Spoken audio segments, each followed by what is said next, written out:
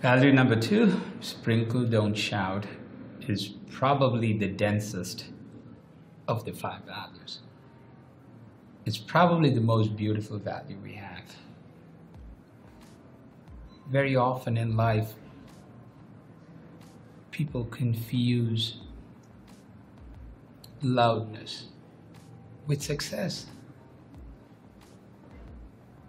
And that's only true if your time horizon of measuring that is small. Nature has proven again and again that anything that is big and in the short term high impactful in the long run is not sustainable. Like earthquakes, they're just bad, they're obnoxious, and they're not sustainable. Most startups are in a hurry to get big. They often look for big wins, getting on the rooftops, screaming their lungs out. Look how great we are. Look at what we're doing. And they equate that to success. The press picks it up, there's some drama, there's public awareness in the short term. For a lot of people, equates to success. But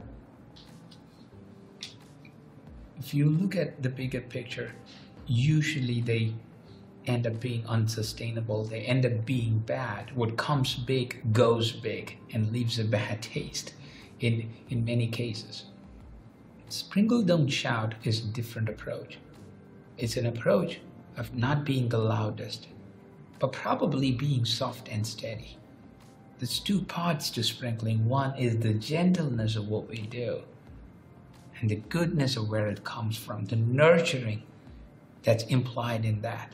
And two, the sustenance of that constant little nudge, that nurturing, that caring over a prolonged period of time. And my favorite example is that of a pebble in the stream and becomes who it is not because it was crushed, but because it was molded gently.